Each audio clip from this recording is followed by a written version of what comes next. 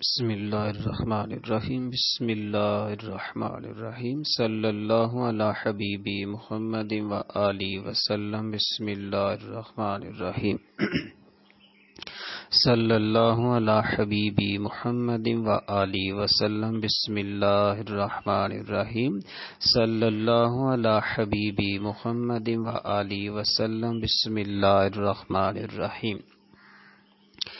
अस्सलामु अलैकुम वरहमतुल्लाहि वबरकातुहू अल्हम्दुलिल्लाहि रब्बिल आलमीन अल्लाह सुब्हानहु व तआला का बेहद करम बेहद फजल बेहद शुक्र जिन्होंने मौका और तौफीक अता फरमाई ज़िंदगी की बेशुमार नेमतें अता फरमाई अल्लाह सुबहान व तआला के फजल करम से बात बनी हुई है मालिक सब की बात हमेशा बनाए रखें माली के करम फजल रहमत से हमेशा बात बनती है। अल्लाह के महबूब सल्लल्लाहु अलैहि वसल्लम ने फरमाया, मेरी ज़ात बाबरकत पर खूब कसरत से दरुदो सलाम पढ़ो। तुम्हारा दरुदो सलाम पढ़ना कल क्यामत के दिन पुलसरात पर, हौजे कोसर पर, कब्र में, हशर में दुनिया में हर जगह तुम्हारे काम आएगा। अदर सैदना अली मुर्तज़ा शेर खुदा रदी अल्लाह तन फरमाते हैं कि हमें जब भी कोई मुश्किल, परेशानी आती, हम बैठकर अल्लाह के महबूब अलैहि वसल्लम की ज़ात पाक पर दरूदो सलाम पढ़ना शुरू कर देते, यहाँ तक कि वो हमारी परेशानी, तकलीफ़, दुख दूर हो जाता। तो आप भी कोशिश कीजिए, आसान तरीन रास्ता है। और कसरत से बाद उलमा लिखते हैं कि जिसने सुबह तीन मरतबा, शाम को तीन मरतबा दरोशी पढ़ा, या दस दस मरतबा पढ़ा, सौ सौ मरतबा पढ़ा, उसे कसरत से दरोशी पढ़ने वालों में शामिल किया जाता है। नमाज़ पढ़ें, हर नमाज़ के साथ अगर दो दो तस्बियाँ भी पढ़ लें तो एक दिन में हज़ार मरतबा दरोशी बन जाता है आसानी के साथ। कोशिश ज़रूर कीजिए, यही चीज़ काम आएगी। यजीद के अंदर सैदना इमाम हुसैन रदी अल्लाह न फरमाते, जहाँ और गुनाह थे, वहाँ उसका ये भी था कि वो जालम इंसान था, जुल्म करने वाला था। आज अगर हम अपने इर्द गिर्द में देखें, क्या यहाँ जुल्म नहीं हो रहे? जिसकी लाठी उसी की भैंस का कानून नहीं चल रहा। हमारे माशरे में आज जुल्म की भरमार नहीं है। लोगों के जहन में ये तस्वर होता है कि जुल्म सिर्फ़ कत्लो गारत को ही कहते हैं कि जिसने कत्ल कर दिया। तो ये जुल्म हो गया। हालाँकि ऐसा नहीं है। नहक कत्ल भी बड़ा जुल्म है। किसी को नहक तप्पड़ मारना, ये भी जुल्म है। किसी की रकम दबा लेना, ये भी जुल्म है। किसी को फजूल में गालियाँ देना, जुल्म में शामिल है। किसी की इज़्ज़त को पमाल करना, यहाँ तक कि दूसरों को गुस्से से देखना, घूर कर देखना। हदीस मुबारक में इसे भी जुल्म करार दिया गया है। अब हम में से हर एक को कोशिश करनी चाहिए, देखना चाहिए कि क्या जो यजीद के अंदर जो आदत पाई जाती थी, जो उसका तरीका था कि हमारे अंदर भी तो नहीं है। कितने लोग हैं हम में से जो दूसरों पर जुल्म करने से बचते हैं। दूसरों के हकूक पूरे अदा करते हैं। भरे मजमू में दूसरों की इज़्ज़त करते हैं या पमाल करते हैं। दूसरों के साथ ना इंसाफी करने से कौन डरता है? दूसरों का कर्ज दबा लेना, न हक तकलीफ़ पहुंचाना ये सारी जुल्म की सूरतें हैं। जो बहुत आम पाई जाती है। हालाँकि ये जिदी किरदार है। अगर हम हुसैनी हैं तो हमें चाहिए कि मुसलमानों का एहतराम करें। दीन इस्लाम ने हमें क्या सिखाया? कि मुसलमान वही है जिससे दूसरों के जान, माल, इज़्ज़त, हर तरह की चीज़ महफूज रहे। हकूक दूसरों के पूरे अदा किए जाए। अल्लाह सुबहान ताला फरमाते हैं, और ऐसी ही पकड़ है तेरे रब की कि जब बस्तियों को पकड़ता है, उनके जुल्म पर तो बेशक उसकी पकड़ बड़ी ही दर्दनाक है, सख्त है।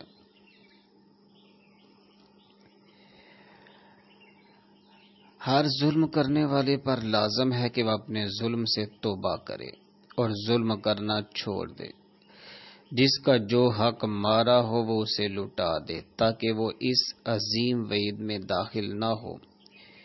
क्योंकि ये आया मुबारक गुजश्ता उमतों के साथ खास नहीं, बल्कि हर जालिम को, जो भी जुल्म करने वाला है, उसको भी ये अजाब मिल सकता है। अल्लाह पाक हम सबको अच्छे इखलाक और हसन सलूक से पेश आने और दूसरों पर जुल्म और ज्यादती से बचने की तोफीक अता फरमाए।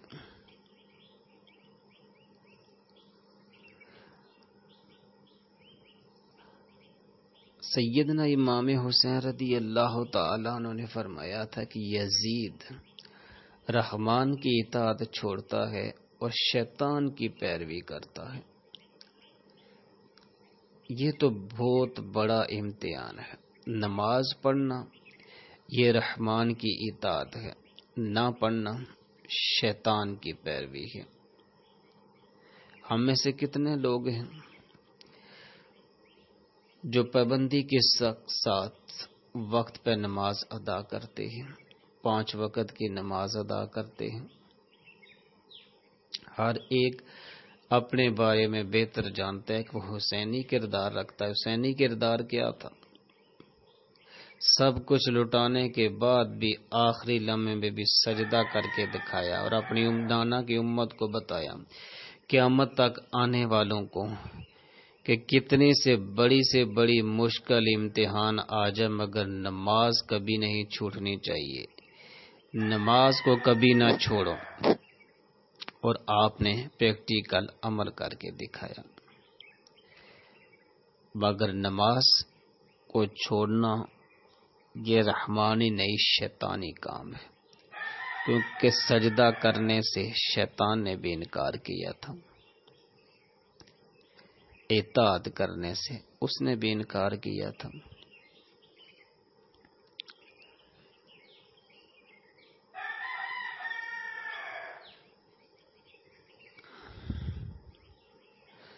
कोशिश करें अपने अंदर हुसैनी किरदार पैदा करने की।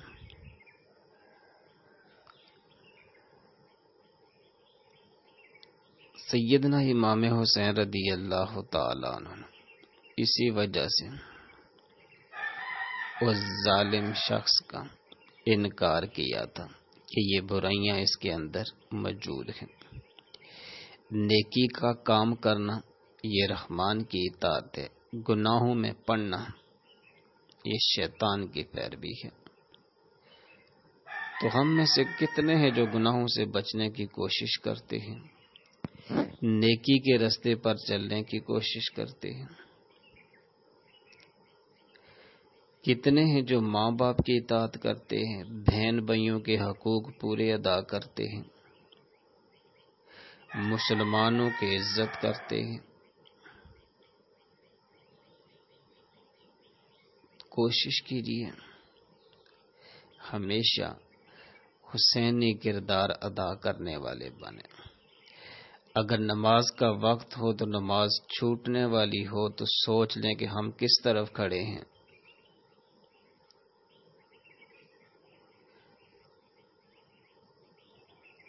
दुनिया की इतनी मोहब्बत मालो दौलत के साथ ये सबसे बड़ा वबाल है। अल्लाह के महबूब सल्लल्लाहु ताला अलैहि वसल्लम का फरमाने वाली शान है कि दो भूखे भेड़िए बकरियों के रेवड़ में अगर छोड़ दिए जाएँ तो वो इतना नुकसान नहीं पहुंचाते जितना कि माल और मर्तबे का लालच करने वाला इंसान दीन को नुकसान पहुंचाता है।